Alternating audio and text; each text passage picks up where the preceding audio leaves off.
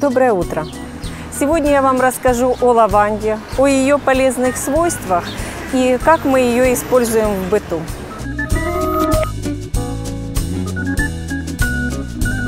Лаванда – это многолетний полукустарник, растение, которое любит солнце, которое растет на бедных почвах и очень хорошо цветет э, с мая и по э, конец октября.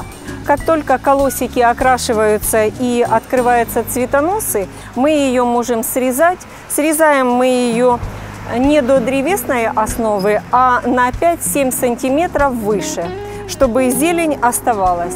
В этом случае используем цветоносы по назначению, флористика, саше, используем в кулинарии как специю, можем заваривать чай, а куст начинает развивать новые цветоносы, и уже через два месяца мы видим новые побеги, которые будут цвести и радовать нас до октября.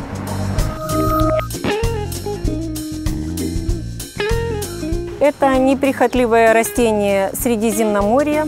Перекочевало к нам на юг, так как э, прекрасно себя чувствует в нашей зоне.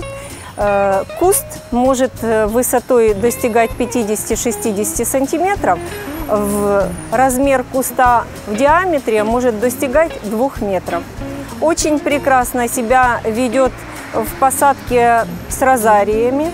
То есть высаживаем розы на солнечном месте и э, как окантовку сажаем лаванду. Прекрасно разрастаются, они между собой не соперничают и красиво смотрятся э, в дуэте.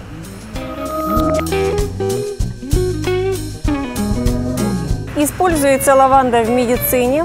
Э, в быту также используется как успокаивающее средство, можно заваривать. Э, можно э, запаривать эту же цветочную массу лавандой и полоскать волосы, либо принимать ванну с настойкой и отвара. Также лаванда используется в кулинарии, то есть как специя. Мы, вот, например, я сейчас показываю балконик, в котором посажены и петрушечка, розмарин, чебрец, шалфей и лавандочка. То есть это все растения, которые являются непосредственно специей и которые э, очень полезны для нашей кухни. Я сегодня вас познакомила с лавандой, с ее полезными свойствами. Думаю, было интересно. До следующих встреч!